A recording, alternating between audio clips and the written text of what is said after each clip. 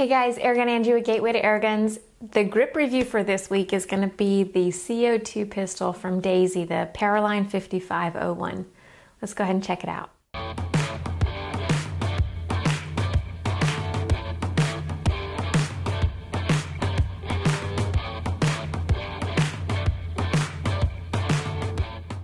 Really quick, I want to say thank you to Gateway to Airguns for making this video possible. Go check them out, guys. www.gatewaytoairguns.org. www.gatewaytoairguns.org.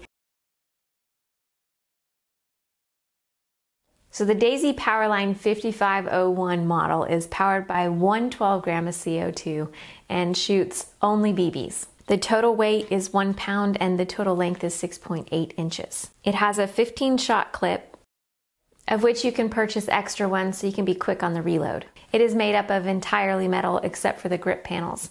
It's a pretty nice little chrome piece. It has a single stage trigger with a manual safety equipped with a slide lock and a decocking button.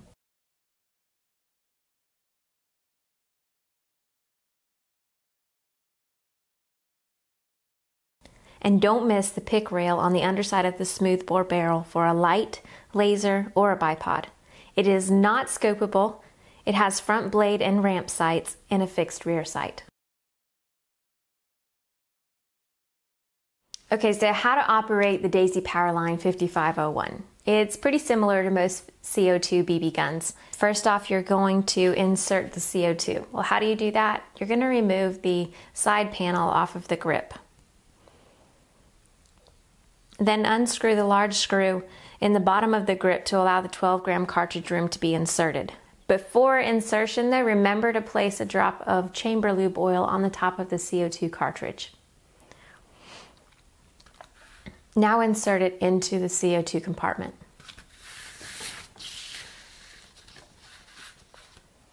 Replace the grip panel back on it by popping it into place and screw the large screw in until the CO2 is punctured.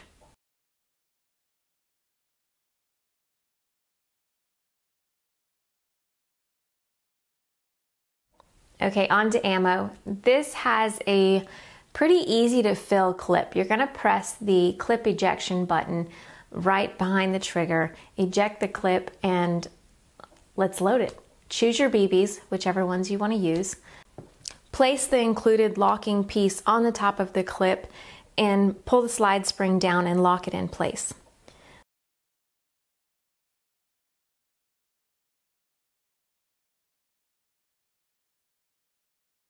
Then you're going to load the 15 BBs into the hole on the side of the clip.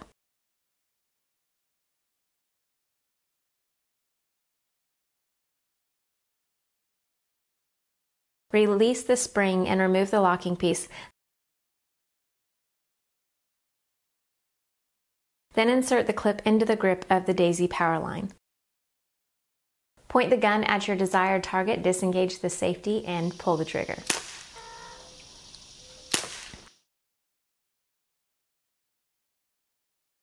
Okay, so on to performance, guys. How does this baby perform? So before we get started with accuracy, power, and shot count, of course, we need to go over the trigger pull and the noise level. As far as the trigger pull, I couldn't find a manufacturer's claim, so I just went with what I got. And what I got was 3 pounds 11.2 ounces and 3 pounds 11.9 ounces. It's a pretty average trigger for a CO2 BB gun. And as far as the noise level, at the muzzle, I got 96.4 dBs, and then 10 yards away, I got 86.4. So exactly 10 dBs quieter 10 yards away. So, first order of business besides trigger pull and noise level and performance is from full to empty accuracy. Now, I'm going to shoot the Daisy um, BBs for this test since it's a Daisy. Now, here we go. Got the chronograph set up, got my target set up. Let's see from full to empty, safety off, from full to empty, what kind of accuracy we're getting out of this, and what kind of velocity. Whoa. 334. 355. 360. 381. 386. 378. 412. 414. 421. 411. 433. 430. 427. 431. That's it. 419. Not bad. Not bad. All right, let's reload.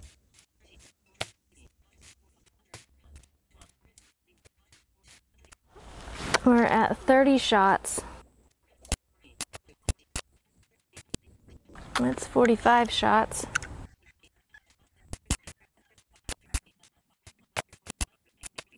Seventy-five shots, guys. And still going, guys. Still going. And that's 90 shots. 315. 305. 296. Oh, yeah. That's it.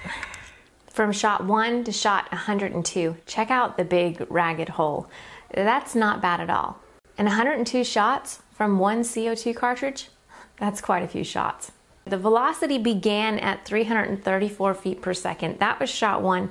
It peaked out at 433 at shot 11, and then shot 102, I got 296 feet per second. You get about 90 good full power shots out of it, but the CO2 is completely depleted at 102 shots. It may vary a few shots here and there. That's when it said, nope, I've got nothing left. Okay, so guys, let's really get to know this gun without any of the AA air in it at all.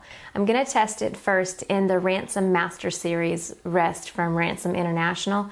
This takes human error completely out of it and shows you exactly what the gun is capable of as far as accuracy. I wonder if that's why it's not working. Where did that even hit? It looks like it might be super low. Yep.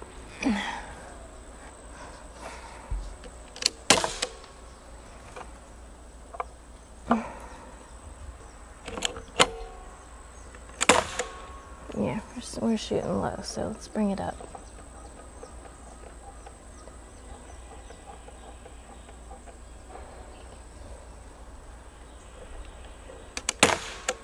There, bring it up some more.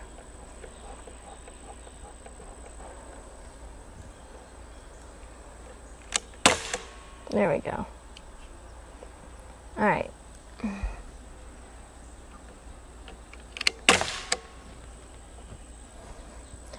Now this gun doesn't seem to have enough recoil to actually bring this. I don't know why it's wanting to need to be reset.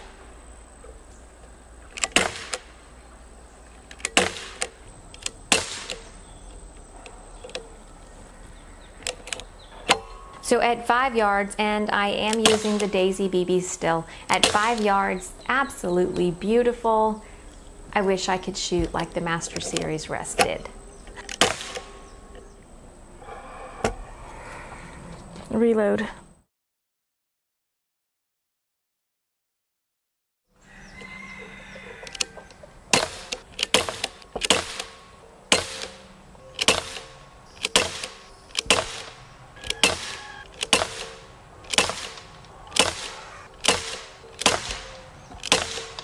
That's pretty darn accurate. Let's move it back to about um, 10 yards and see how accurate it is there. All right, let's see where it's hitting. Safety, off, high, right. I do need to make a little bit of adjustments with my ransom rest to decide where I'm going to group at. At first, it's shooting a little high and right. That looks like it'd be super low, but let's check it out. Mm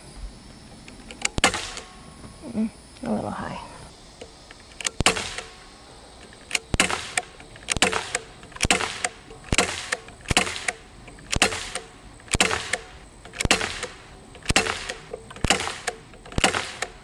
That's it.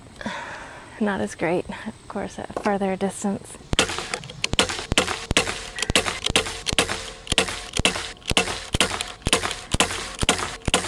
So this one's not a 10 yard BB pistol, which is pretty typical. Just keep it close. We're gonna test some different ammo. I have the Daisy BBs, I also have the Hornady Black Diamonds and the Umarex Steel BBs.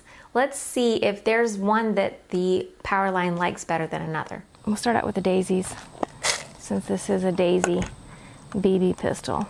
Okay, now we're gonna add a little bit of the AA air into it. We're gonna use just the Ransom multi-cal rest and myself, of course, and see what kind of accuracy we get out of it there.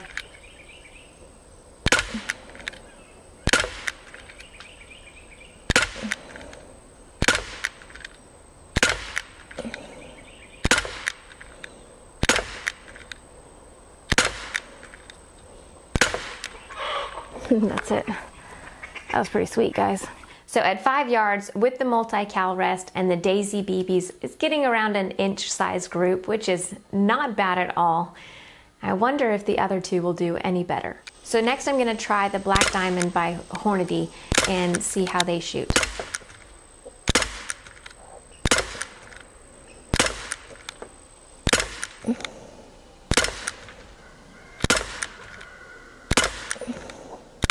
Oh man, that was even better. Yes, I did have a few flyaways, but for the most part, they landed right there in the bowl in the same spot. So That was really sweet. those ones shot super sweet. Let's see if the Umarex Steel BBs will shoot better than that.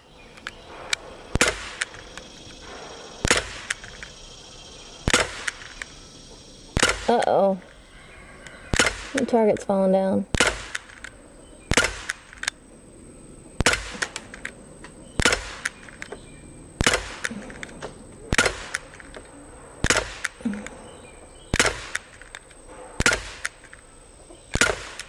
Nope. Black Diamond BBs. It is, guys. Those are the favorites. So if you're going to get the CO2 Daisy Powerline 5501, be sure to get some of the Black Diamond BBs as well. Okay, now for the full AA experience. No rest at all, offhand. Let's see how I do.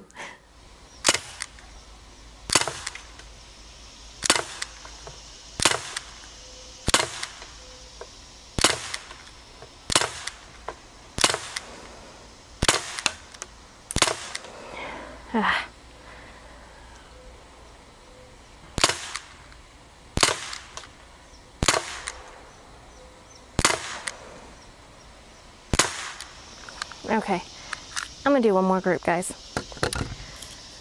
I'll aim for the target at the top, but I really think I can do better than that.